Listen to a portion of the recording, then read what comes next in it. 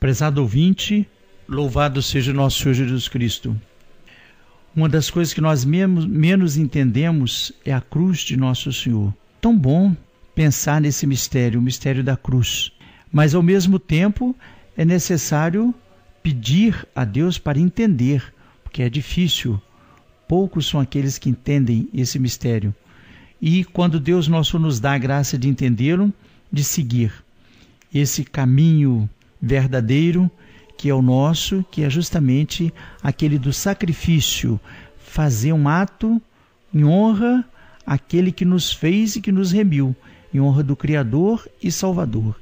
Isso é uma cruz, porque muitas vezes, por causa da nossa natureza, por causa do pecado original, custa-nos grande esforço, e é esse esforço que Deus quer ver em cada um de nós para provar justamente nosso amor para com Ele. Mas o que os homens menos entendem é justamente essa doutrina, que, como diz São Paulo na Epístola aos Coríntios, na sua primeira epístola, que é para os judeus um escândalo e para os gentios é uma loucura, é uma vergonha querer acreditar num crucificado ou acreditar nesse instrumento que era o label da humanidade. Agora não é mais um label, agora é o troféu. E esse troféu não é de qualquer pessoa, é o troféu de nosso Salvador, o troféu de Jesus Cristo. Que um Deus morresse para salvar os homens já é um mistério profundo, mas entender que ele morresse dessa maneira na cruz, isso nós não podemos entender. Que devem associar-se, portanto, esse estupendo sacrifício morrendo a si mesmo e as suas paixões, eis o que escandaliza e lhes faz dizer, como os cafarnaítas, que disseram para nosso é duro demais ouvir essa palavra. Quantas e quantas vezes nós ouvimos dos outros a igreja exagera, a igreja cobra demais, não é preciso fazer tanto. Isso é um martírio. E, no entanto, o mundo é muito mais é, maldoso, cobra muito mais de nós, exige muito mais de nós do que a própria verdade. O que o mundo não exige das mulheres hoje para poderem serem benquistas para o prazer desordenado? Tem que se exporem às revistas, aos outdoor, às pessoas, aos homens, em todos os lugares, para serem tido como algo de atenção.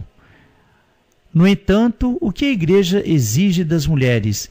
Que sejam modestas, que sejam recatadas, e com esse valor elas, elas vão ser verdadeiramente estimadas. É diferente do que se exige o mundo. Aquilo que Deus exige de nós é uma verdade. Não deixa de ter um sacrifício. Andar com modéstia, não quero dizer que não seja um sacrifício, mas andar sem pudor é uma vergonha. Então, o mundo exige de nós a nossa degradação. Deus exige de nós a nossa correspondência a uma verdadeira ação. Então, por isso, essa cruz para nós é sempre valiosa e devemos sempre olhar para o nosso divino redentor, para o bom Jesus crucificado e pedir que nos faça entender a sua doutrina. Porque depois que eles disseram isso para nosso Senhor, São João no capítulo 6, nosso Senhor falou com os apóstolos: vocês também querem ir? Preferem seguir essa maneira de agir e de pensar? Ou seja, eu não vou mudar a minha doutrina. Por que, que Jesus não podia mudar a sua doutrina? Não podia amenizar um pouquinho? Não podia, quem sabe, é, compreender a fraqueza humana? Ele que é tão bom, tão compreensivo, tão cheio de misericórdia, ele podia ali para os apóstolos, para não perder tanta gente que estava abandonando e indo embora? Ele fez o contrário. Se vocês também quiserem, pode ir juntos. Mas a minha verdade eu não posso mudar. Não há o que mudar na verdade. Não há o que mudar em Deus. Deus é imutável pela perfeição infinita que ele tem, que ele é. Não que tem, que ele é. E por ser a perfeição infinita, não pode, como eu vou mexer na perfeição? Ela vai se tornar imperfeita. Deus não pode ser mudado. A doutrina não pode ser mudada.